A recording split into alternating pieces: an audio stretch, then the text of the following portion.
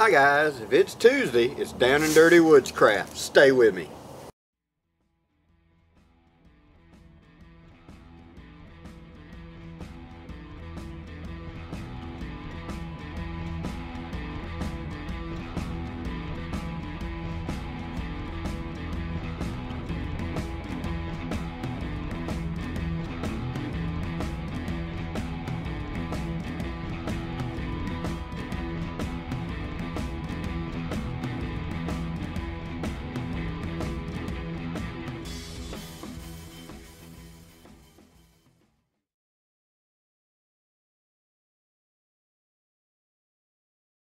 Okay, today guys we're going to talk a little bit about canteen cup cooking or cooking in the field. Now, one of the things that affects us going to the field and being able to cook effectively is carrying the components and being able to properly measure them and properly cook them once we get there. Now a lot of the dehydrated meals and things you have today, that's pretty straightforward and you ain't got to worry about it because it's just add water no big thing. But what if you're going to try to save a little money instead of getting those expensive uh, MRE type or dehydrated meals in those cans and use some other component like you might have around the house like instant potatoes, like the macaroni and cheeses, like etc. One of the things you need to be able to do is measure either ahead of time or measure at the place because I don't want to tote a whole big old huge family size bag if I'm only going to use one cup. So therefore, I want to be able to measure it and equal it out. Now, with our cooking container, whatever the container is that I'm going to be cooking with, I need to have a way of measuring. And a trick that I learned a long time ago was how to measure in a canteen cup. Now, on a canteen cup or whatever component you have, what you want to do is measure to what is one cup okay?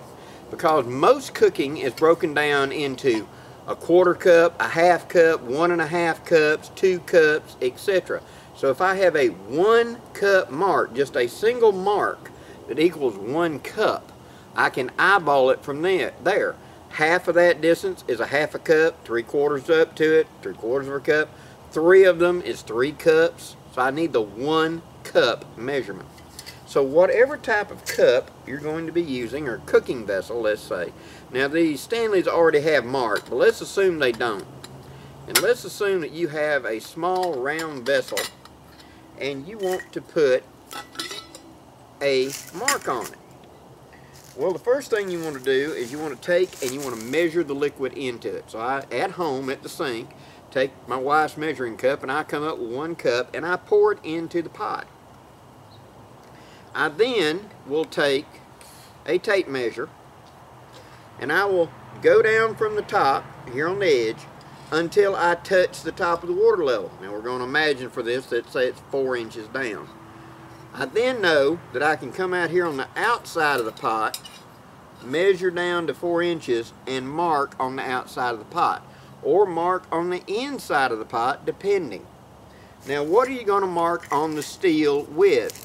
I need something that's harder than steel that's going to cut steel. They make these scribe pencils that you can get at the hardware store for marking your tools. They work really good, but if you're down and dirty, a file. That point on the tip of a file is hardened and is harder than steel and will scratch steel. And most of them have a sharp corner or sharp point of some point that will allow you to do it.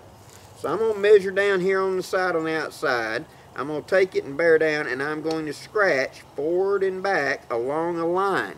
If you want to make it kind of neat, put a piece of like cardboard or duct tape right there as a guide and scratch back and forth on it until you can see it. Likewise on the inside, I'm going to come down to the measurement on the inside and scratch back and forth until I have it. Leaving the water in it, I come up here right at water level and just scratch on the inside. That will give me a one cup measurement and therefore I can speed up my measuring. So when I get there I know that this, well we're going to cover this a little more in a future episode where I'm going to show you how to take the big bulk and divide it down into small portions and make kind of like your own MREs. Something to carry along that I can make in the field.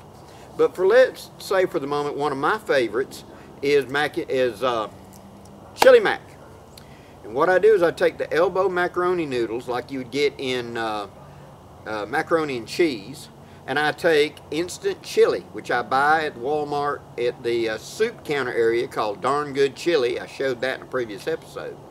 And I'll measure out how much I want of the noodles, okay? And I put that into a sealed up bag. And on the outside of the bag, I'll write roughly how much water it takes, like two cups of water. I then take my pot and I measure it in for two cups.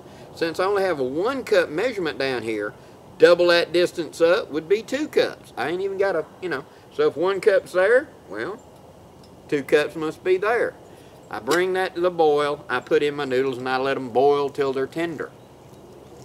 Then I'm going to drain off the water into my sauce pack or whatever. In this case, into where the chili is. In, the chili just has to be rehydrated. So I have a one quart freezer bag that has the dried chili in it and it says add, let us say, a cup of water. Well, there's my measurement. I pour water, pour water, pour water, half cup water in, seal it up, and let it start rehydrating while I'm boiling this. Once this becomes done and ready, I add the two together, stir it up inside the quart bag, dump the water out of this, slide the quart bag in here, open it up, and eat it out of the bag. I still got a clean pot. And the only thing I got to get rid of is I got to clean the utensil and I got to get rid of the bag which can be put into the fire.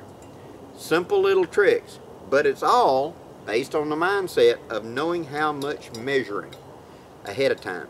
By marking my pot with a one cup marker. If it's a tall one, I'll go ahead and mark a second cup. And that way I can tell how far up.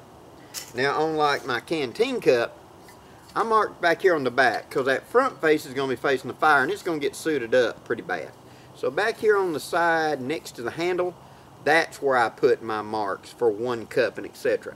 And I have calculated out that at the bottom of this fold where the handle attaches, that's one cup. And at the top of the handle is two cups. So I know that's a one cup, two cup in this cup. And I've got it quickly measured. And as a little tip if you got these small round cooking pots, this is a uh, insulated cup that William Collins sent me. You can pick these up at Walmart. In fact, I haven't even taken the label off of it yet.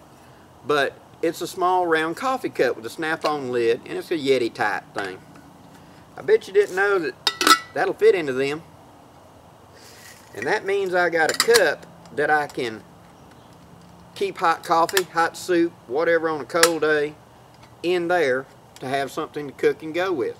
I can make two full cups of coffee in this, have one cup in my drinking cup, and it don't lose heat fast, and then have this one, or pour soup into it or whatever. Those little thermos cups, Yeti type cups, are very handy in the field for a quick eat because remember I was saying I was going to keep my noodles, right? I transfer my noodles into here. They'll stay warm while I'm cooking the chili. Simple little trick. Hope this gives you some ideas, guys. Please leave any questions in the comments below. And if you have any questions or something you want to see on a, a future episode, please let me know about it. Till next time, I'm Blackie for Shaman's Forge Woodscraft. Wishing you safe journeys. Have a great day, guys.